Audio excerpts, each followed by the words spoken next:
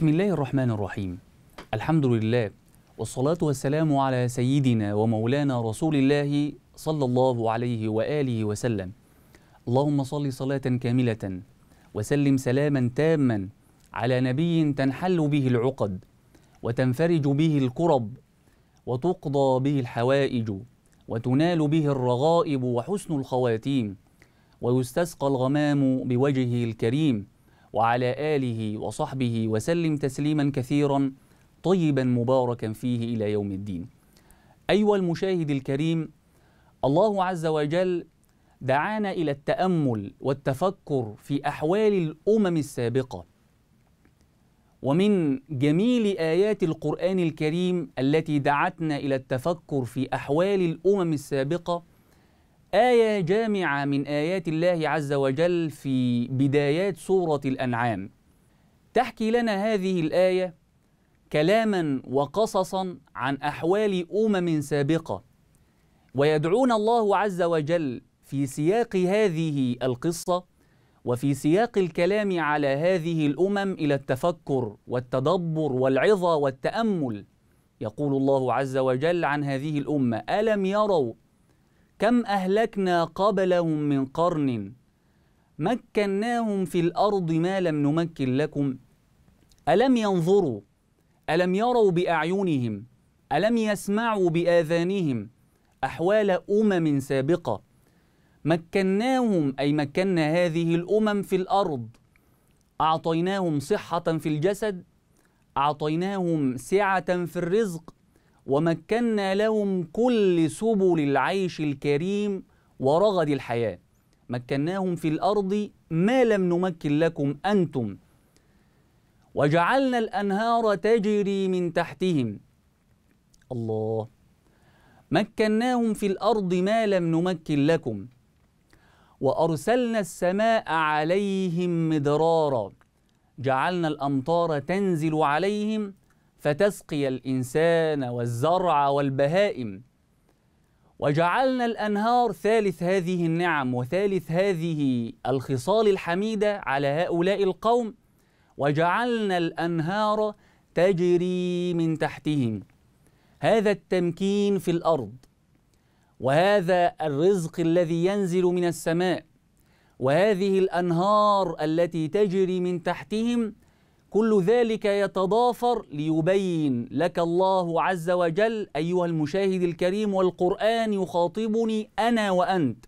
فالله عز وجل يقول لي ولك تأمل في أحوال هذه الأمة التي مكن الله عز وجل لها كل سبل العيش الآمن ورغد الحياة. ولكن مع ذلك الله عز وجل يكمل بعد هذه الثلاث خصال الحميدة فأهلكناهم. ويبين الله عز وجل سبب الهلاك وسبب تبديل هذه النعم. فأهلكناهم بذنوبهم. فأهلكناهم بسبب ذنوبهم ومعاصيهم وعدم شكرهم لهذه النعم. ولذلك أيها المشاهد الكريم إن من الأشياء التي توجب نقم الله عز وجل وتوجب غضب الله عز وجل حتى مع المؤمن حتى مع الإنسان المستقيم ذنوب الخلوات. ذنوب الخلوات تتراءى فيما بينك وبين الناس في صلواتك وجلواتك وما ينظر إليك الناس أنك إنسانا صالحا. لا تترك فرضا في المسجد. ولا تترك يوما من أيام الله عز وجل التي فيها فضائل صيام إلا وتصوم. ومعاملتك بينك وبين الناس في ظاهر الأمر أنك إنسانا مستقيما ولكن عندما تختلي بنفسك ترتكب الذنوب والمعاصي والآثام.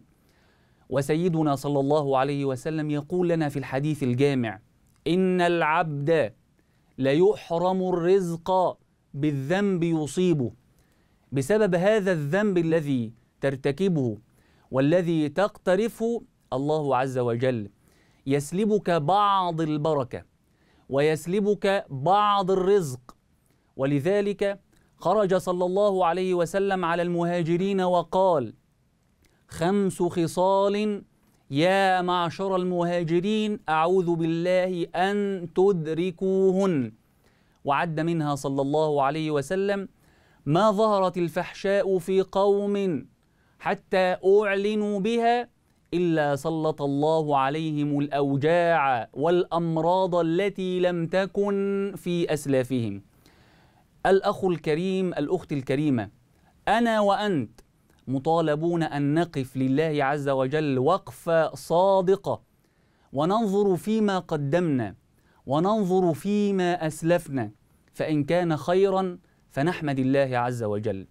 وإن كان غير ذلك فتدبر معي قول الله عز وجل الذي يفتح لنا طاقة الأنوار وسلاسل الإيمان في كل من اقترف ذنبا أو إثما. ويقول الله عز وجل قل يا عبادي الذين أسرفوا على أنفسهم لا تقنطوا من رحمة الله إن الله يغفر الذنوب جميعا إنه هو الغفور الرحيم. نسأل الله عز وجل أن يغفر لنا ذنوبنا وأن يمتعنا بأسماعنا وأبصارنا وقواتنا أبدا ما أحيانا. اللهم آمين. ألقاكم في إطلالة جديدة. سلام الله عليكم ورحمته وبركاته.